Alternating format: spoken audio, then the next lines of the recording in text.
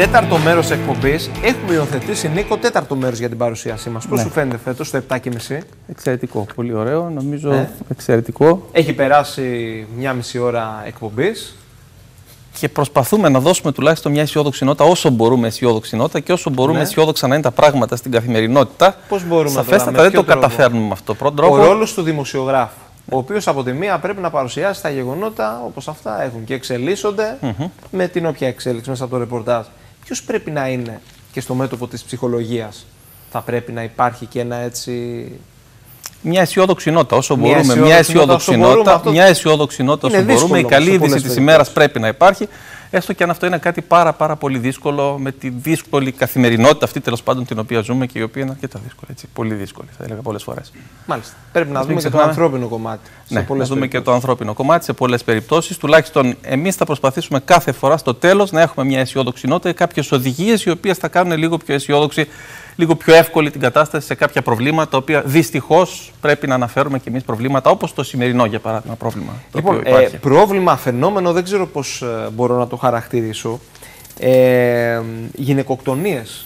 Ναι, γυναικοκτονίες μιλούμε δηλαδή. Μία μάστιγα. Μάστιγα. Μιλούμε Πλέον για. μάστιγα. Ναι, είναι μια μάστιγα. Μια μάστιγα. Μιλούμε για 13-14 πλέον γυναικοκτονίες ουσιαστικά στην Ελλάδα την τελευταία χρονιά. Θα έλεγα ότι δεν είναι και τόσο καινούριο το φαινόμενο όπως θα δούμε ε, από τους πίνακες του οποίους έχουμε ετοιμάσει. Φαίνεται λοιπόν ότι μιλούμε για ανθρωποκτονίες από πρόθεση, οι οποίες γίνονται επειδή το θύμα είναι γυναίκα και οι οποίες μπορούν να ξεκινούν σιγά σιγά α, από μια κατάσταση η οποία είναι η κακοποίηση της γυναίκας και σιγά σιγά να φτάσουμε σε μια κατάσταση η οποία είναι μέχρι του να αφαιρέσουμε τη ζωή της γυναίκας δεδομένου του ότι είναι γυναίκα. Προηγείται όχι Σύμφωνα, μόνο η ξέρεις, σωματική κακοποίηση και η ψυχολογική η κακοποίηση. σωματική κακοποίηση, η ψυχολογική κακοποίηση, η λεκτική κακοποίηση, η ψυχολογική κακοποίηση, η σωματική κακοποίηση, Ναι. πολλές φορές σεξουαλική κακοποίηση υπάρχει και μέχρι που φτάνουμε στην κορυφή της κατάστασης, στην κορυφή ε, μιας κατάστασης που λέγεται γυναικοκτονία. Ναι. Ε, πλέον. ποια κακοποίηση προηγείται, ποια μορφή; Συνήθως είναι η λεκτική. Συνήθως Η είναι η λεκτική. λεκτική κακοποίηση. Λεκτική, και υπά- ψυχολογική δηλαδή. Ναι, λεκτική ψυχολογική κακοποίηση η οποία Ναι. υπάρχει και η οποία ωστόσο δεδομένης της χρονιότητας της οποίας έχει, δηλαδή Ναι. δεδομένου του ότι κρατάει αρκετά μεγάλο χρονικό διάστημα, πολλά χρόνια,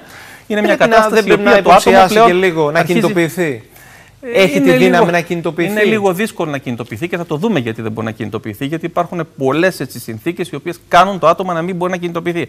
Βασική συνθήκη, ξέρεις ποια είναι, ότι πολλές φορές το συγκεκριμένο άτομο, το θύμα, έχει πέσει θύμα κακοποίησης στην παιδική του ηλικία. Άρα λοιπόν όλο αυτό το οποίο ζει, όλο αυτό το οποίο βιώνει, όλος αυτός ο Γολγοθάς, Είναι, είναι, μια τώρα θα πω κατάσταση. κάτι, είναι ναι. φυσικό επακόλουθο μέσα της. Είναι Εντός φυσι- εισαγωγικών πάντα φυσικό Είναι επακόλουθο. μια φυσική κατάσταση Ε; πολλές φορές την οποία την έχω ζήσει μέσα μου πριν από κάποια Τουλάχιστον χρόνια. Και έτσι άρα το λοιπόν έχει πλέον αναπαραγάγω αντιληφθεί. αυτό το μοντέλο, ζω σε αυτό το μοντέλο Ναι. και γι' αυτό το λόγο νομίζω ότι αν θέλουμε να είμαστε αισιόδοξοι πρέπει να ποντάρουμε στη νέα γενιά, να μιλήσουμε για να μην υπάρχει πλέον κακοποίηση, παραμέληση, ψυχολογική, λεκτική, Και σωματική επαναλαμβάνω, κακοποίηση στη νέα γενιά στα μικρά Επειδή παιδιά. χρησιμοποίησα ε, τον όρο φυσικό επακόλουθο. Εντός εισαγωγικών, καταλαβαίνεις ότι το λέω μεταφορικά. Ακριβώς, εννοείται. Εννοείται, βεβαίως. Βέβαια, Μιλούμε για εννοείται. φυσικό επακόλουθο. Τίποτα δεν είναι φυσικό επακόλουθο και τίποτα δεν πρέπει να είναι φυσικό επακόλουθο. Εννοείται. Και ουσιαστικά δεν πρέπει να υπάρχει καμία ανοχή σε καμία είδους κακοποίηση, από τη λεκτική κακοποίηση, από γι' την αυτό και ψυχολογική εμείς εδώ, κακοποίηση, και εσύ πόσες- μέχρι προφανώς και τη σωματική κακοποίηση. Πόσες φορές το έχεις πει, μιλήστε, απευθυνθείτε σε ένα Ακριβώς. ειδικό, κινητοποιηθείτε.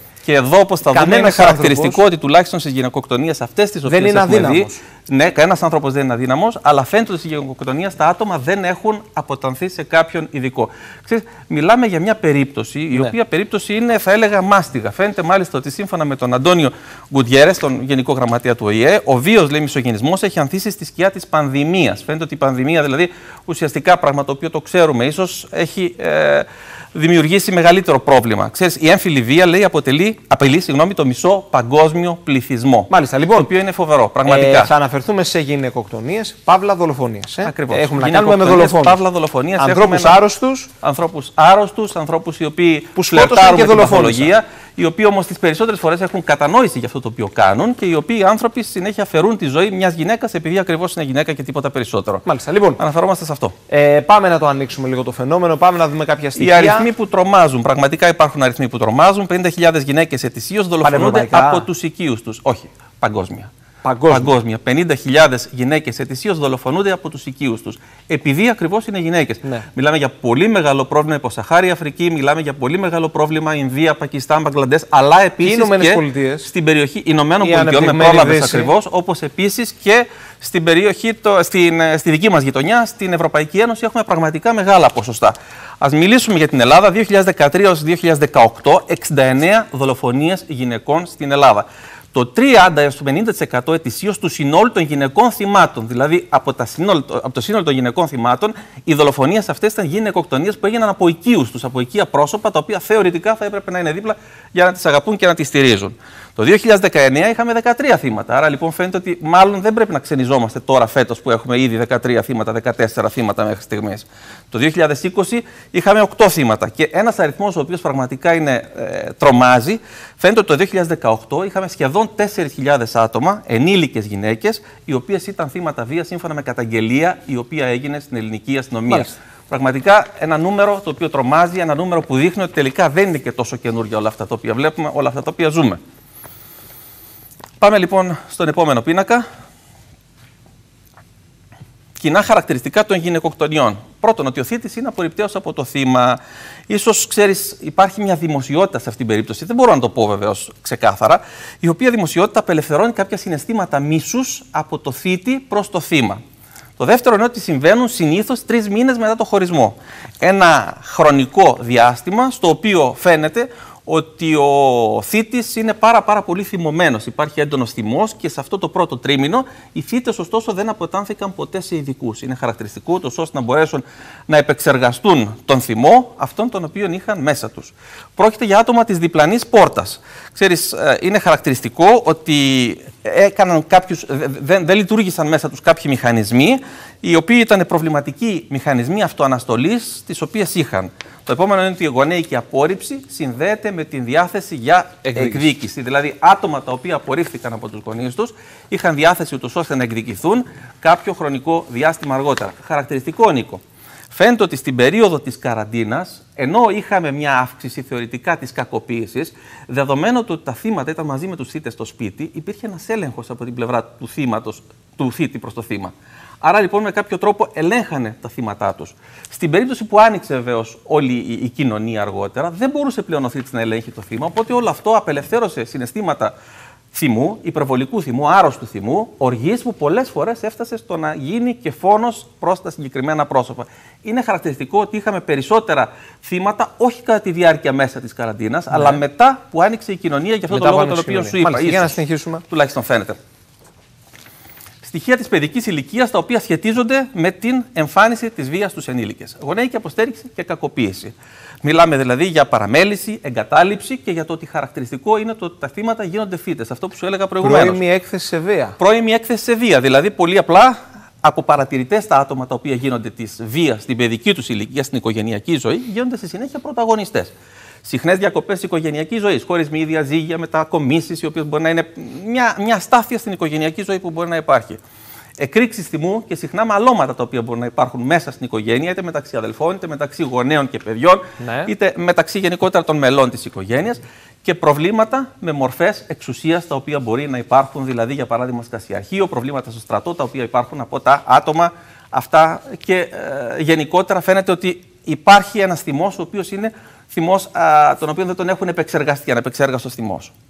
Το επόμενο είναι τα χαρακτηριστικά μιας δυσλειτουργικής οικογένειας. Πάμε λοιπόν στην έλλειψη της ενσυναίσθησης, η οποία υπάρχει, έλλειψη επικοινωνίας ή φτωχή επικοινωνία η οποία μπορεί να υπάρχει, χρήση ναρκωτικών ουσιών και κατάχρηση του αλκοόλ, συναισθήματα φόβου και απρόβλεπτες συμπεριφορές. Θα ήθελα να μιλήσω για τη χρήση του αλκοόλ και των ναρκωτικών ουσιών, που φαίνεται ότι από τα βία εγκλήματα περίπου τα μισά, το 43% συγκεκριμένα, όχι μόνο για γυναίκες, το 43% γίνονται από άτομα τα οποία έχουν κάνει κατάχρηση είτε αλκοόλ είτε ναρκωτικών ουσιών.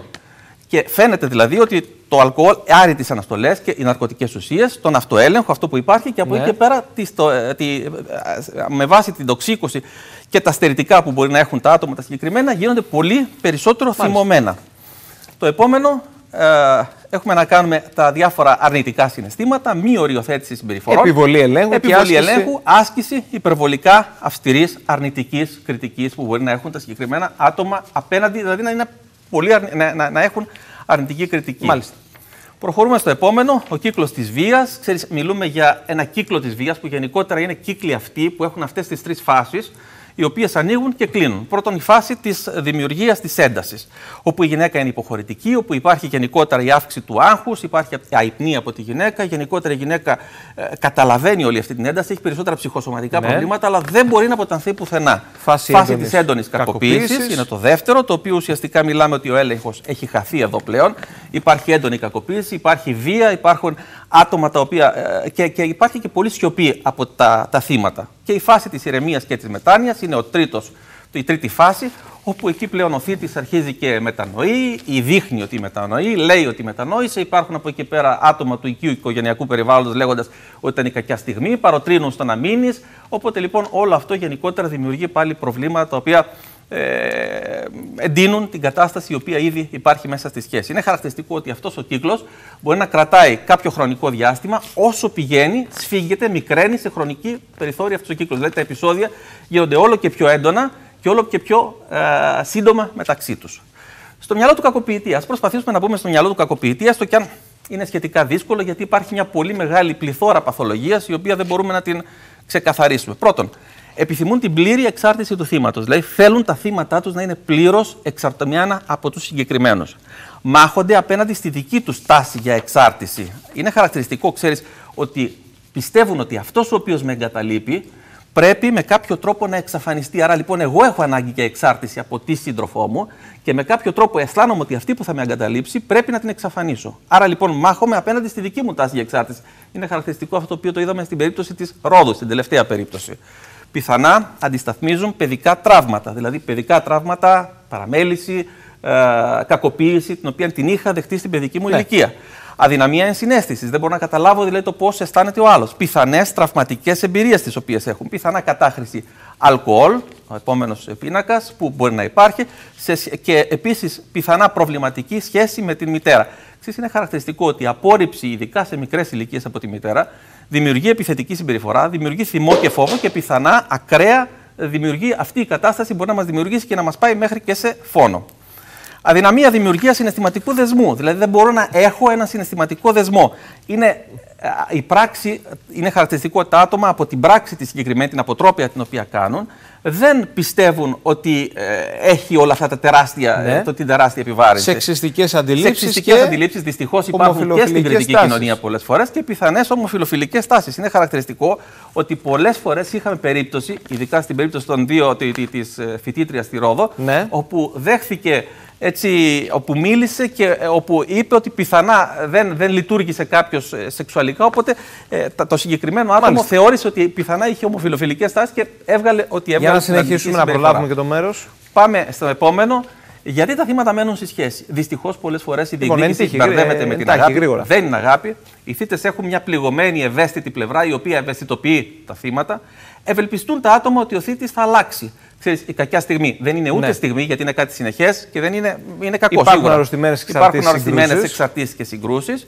Υποκύπτουν στις πράξεις μετάνοια οι οποίες υπάρχουν, φόβος για τις αντιδράσεις του θήτη, πιθανή ταύτιση με τις ευαίσθητες πλευρές των θητών. Δηλαδή, ταυτίζομαι εγώ με την ευαίσθητη πλευρά του θήτη και πιστεύω ότι ο θήτης είναι ένα ναι. ευαίσθητο παιδί το οποίο πιθανά θα αλλάξει. Και συνεχίζουμε. Και συνεχίζουμε στον τελευταίο πίνακα. Προτάσεις για την αντιμετώπιση. Αντιμετωπίζουμε το φαινόμενο της παιδικής κακοποίησης. Από εκεί ξεκινάνε όλα λοιπόν. Ε, βέβαια, στον πρόλογο μας το είπαμε. Άρα λοιπόν, με κάποιο τρόπο μπορούμε να λειτουργήσουμε το όσο πιο νωρίς, τόσο πιο καλά. Είναι χαρακτηριστικό. Ναι. Εκπαίδευση, ευαισθητοποίηση τελεχών της Ελλάδα και των εκπαιδευτικών και από εκεί και πέρα επιμόρφωση των δικαστών, πράγμα το οποίο υπάρχει τουλάχιστον τα τελευταία χρόνια. Αν μπορούμε Μάλιστα. να πιστεύουμε σαν κοινωνία ότι θα κάνουμε κάτι, είναι να μπορέσουμε να αντιμετωπίσουμε το φαινόμενο της παιδική κακοποίησης, γιατί δυστυχώς αυτό αποτελεί προπομπό για μια κακοποίηση η οποία θα έρθει στη συνέχεια και πιθανά θα φτάσουμε σε ακραία μορφή και στη γυναικοκτονία. Νίκο, Νίκο. να σε ευχαριστήσω πολύ για την ενημέρωση, την τοποθέτηση. Τα λέμε. Συνεχίζουμε. Τη ναι. στήλη μας, 7.30. Λοιπόν, λοιπόν